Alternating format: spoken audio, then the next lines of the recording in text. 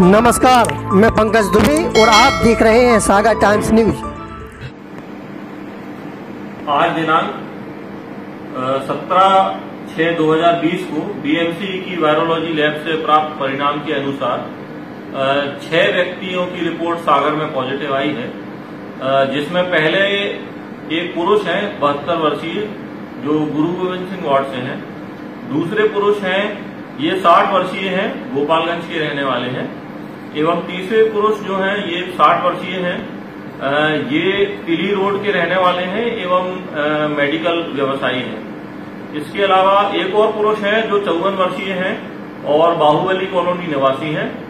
इसके अलावा जो पाँचवें पुरुष हैं, वो 45 वर्षीय हैं और सनीचरी की निवासी हैं और इनका एक प्राइवेट अस्पताल में इलाज चल रहा था, अब ये बीएमसी में शिफ्ट कर दिए गए हैं।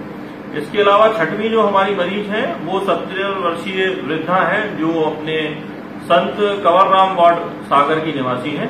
इनको भी बीएमसी में शिफ्ट कर लिया गया है, सभी का यहाँ इलाज चल रहा है। इसके अलावा एक अच्छी खबर ये है कि चार लोग जिनका इलाज चल रहा था, वो पूरी तरह स्वस्थ हो गए हैं और उनको आज डिस्चार्ज कर दिया गया है। नमस्कार।